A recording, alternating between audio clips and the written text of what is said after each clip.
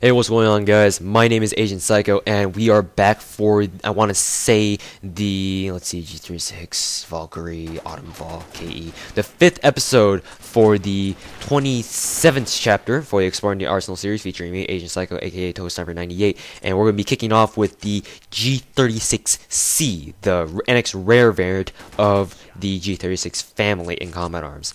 So let's get started on the nitty gritty stats of the G36C.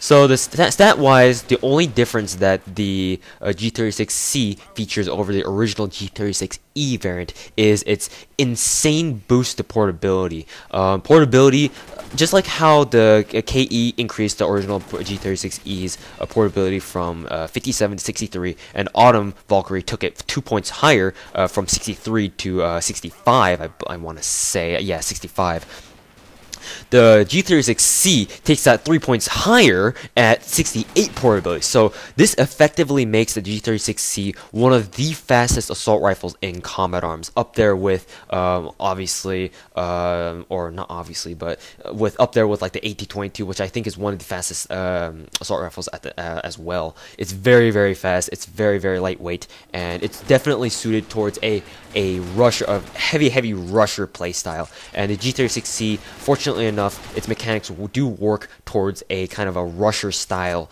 of kind of play in combat arms. And how that is, we'll get to that in just a second. So just like the just like how the G36KE is different over a different fundamentally different from the G36C or the G36E, not the C variant, but the E variant. Uh, the G36C is more uh, more similar to the G36KE than it is towards the uh, G36E.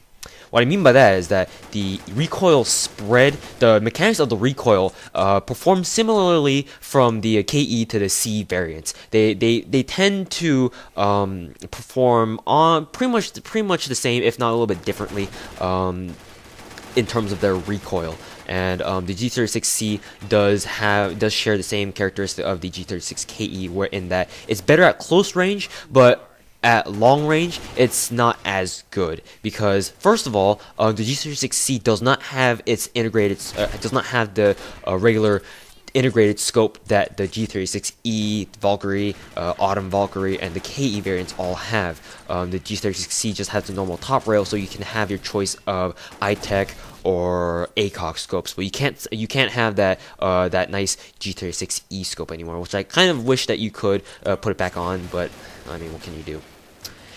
So that's that should co uh, effectively cover the recoil. Uh, because the re because the G36C does not have a uh, does not have the integrated scope that the other air variants do have, um, you're gonna find that the recoil pattern is going to be, or the recoil itself is going to be a little bit de-amplified, if that makes any sense. But it's still going to take after the KE's recoil, uh, recoil spread and pattern, what have you. Um, it's just that you're gonna have to deal with deal with it on an ACOG zoom level, not a not a sniper scope zoom level.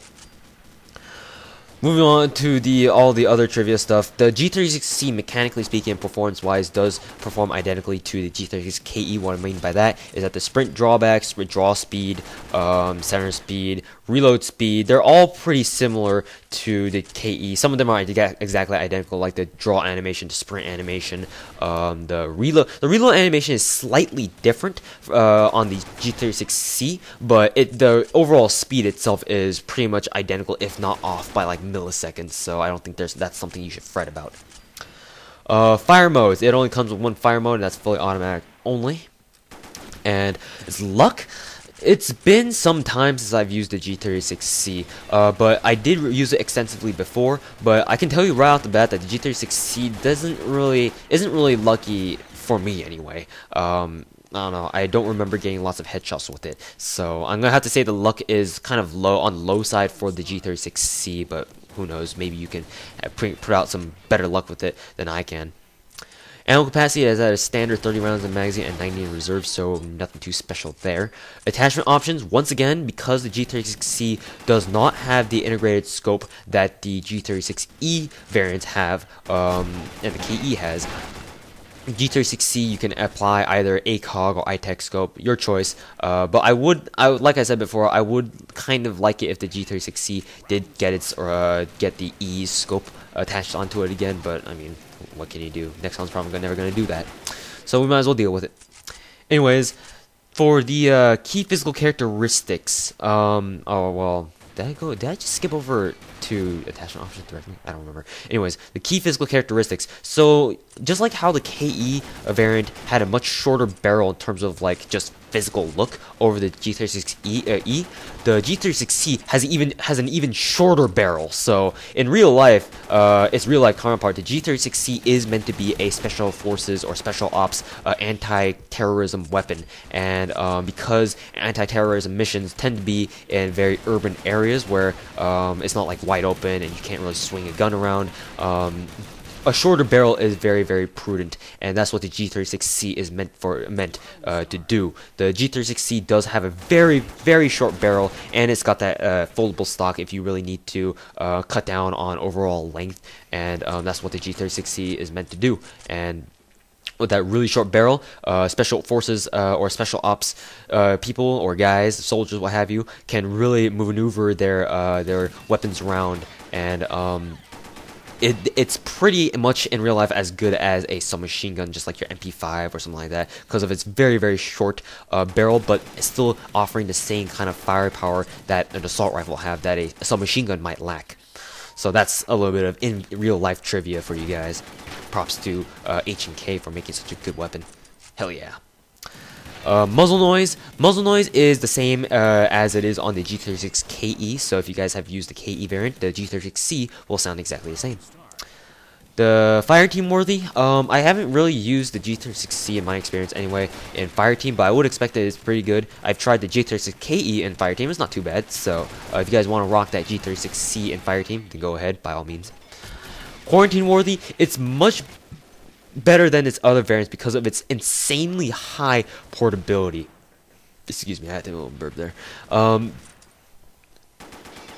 if you must bring an assault rifle to quarantine for whatever freaking reason, which I don't understand myself, but if you absolutely must bring an assault rifle to quarantine, the G36C is one of the best choices to bring because it's got very very high portability at 68 portability. You just can't go wrong with it. That's that's almost that's near that's nearly as high as you can go in terms of assault rifle portability is concerned. So there you go. Very very good for quarantine compared to other assault rifles, especially like the G36E.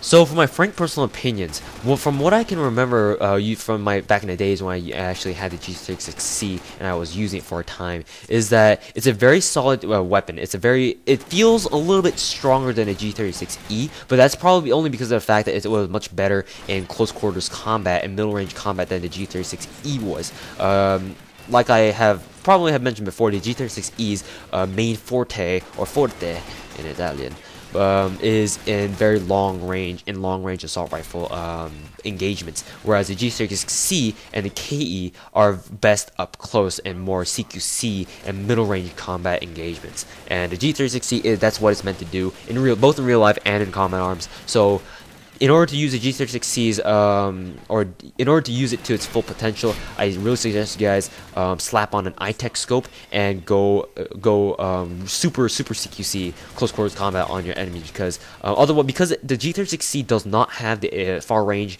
uh, sniper scope that the E and the KE variants have, um, you're you're not going to do as well uh, with the G36C at long range, even though the G36C does have the same 90 accuracy as shared by all other um, G36 variants except for one of them, which we'll get to in the next video.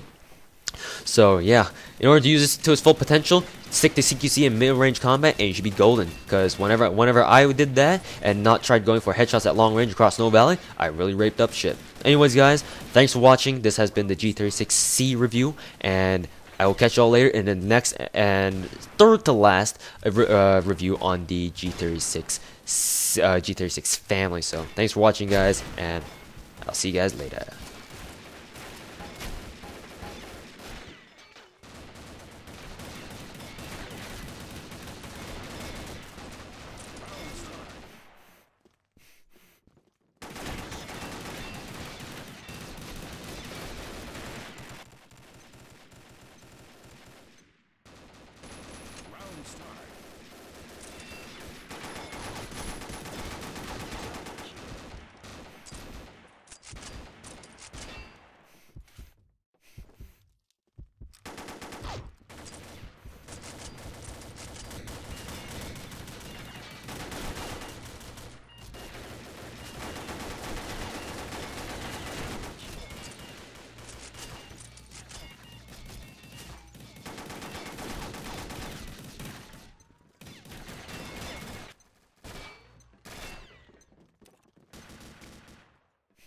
Start.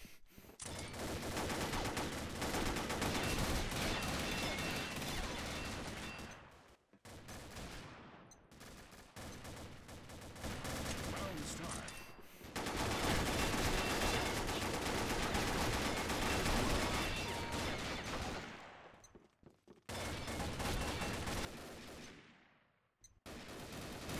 Round start.